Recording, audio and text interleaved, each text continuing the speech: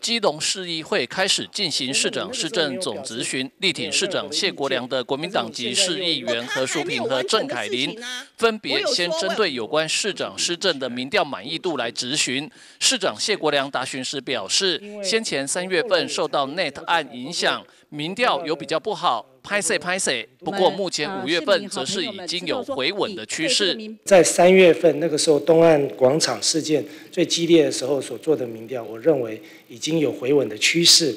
那再加上议员您也有看到嘛，吼，就是在上个周末啊，我们办的各项的活动啊，其实都也吸引很多啊台湾各地的年轻朋友都来参加。那我们的电动机车目前从三月二十九号开始，也已经有七千多，接近八千个青年朋友来申请，所以各方各面来说，我们都有趋稳的一个局势。我们在啊这个暑假也有非常多的空间以及活动将开幕以及举办。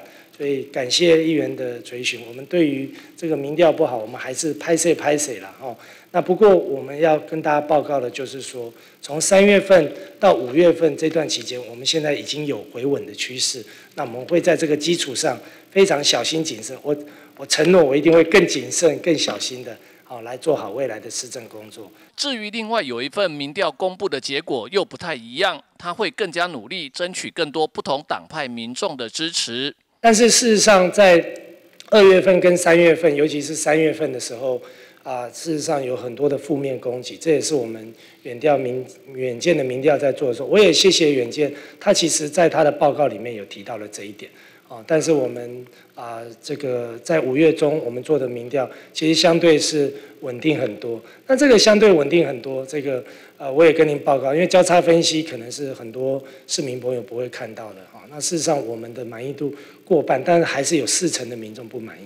但是相对的也很吊诡，就是一样的市政、一样的环境、同样的民调时间，啊，我们有国民党的支持者百分之八十九是支持的，但是一样的环境、同一个民调，却有百分之八十五啊不同党派的支持者是不支持的。所以我自己就觉得说，我如何去有效的、努力的去争取这些不同党派的民众的认同，可能是我未来的。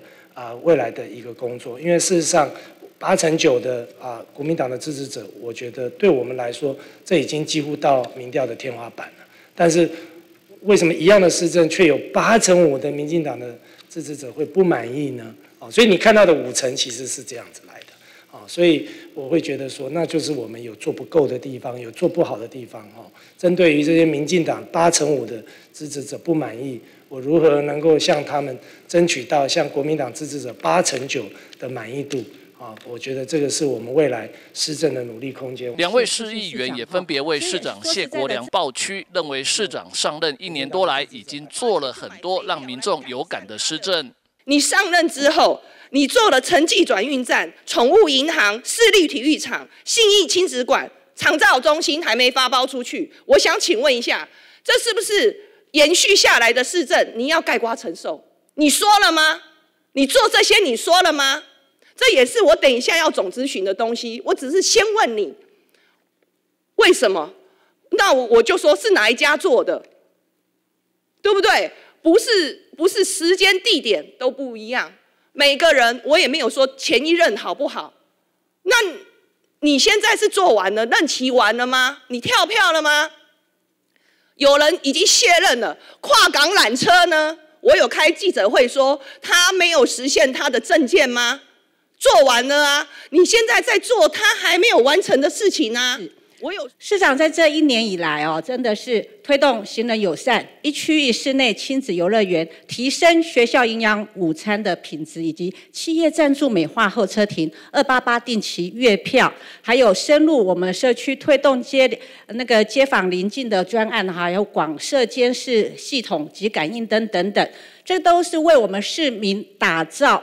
安全干净居住的环境哈，所以这个部分种种都让我们市民朋友感觉到我们市长小爱爸爸你的用心。所以在年初的时候哈，市长你为了要捍卫我们基隆市的一个市民财产，饱受有心人士的这样批判哈，本席也相信我们基隆人是善良的。